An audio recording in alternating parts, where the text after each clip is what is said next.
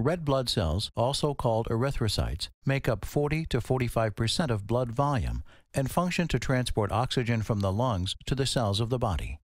Red blood cells are produced inside the bones of the skeletal system, particularly in the vertebrae, sternum, ribs, and pectoral and pelvic girdles.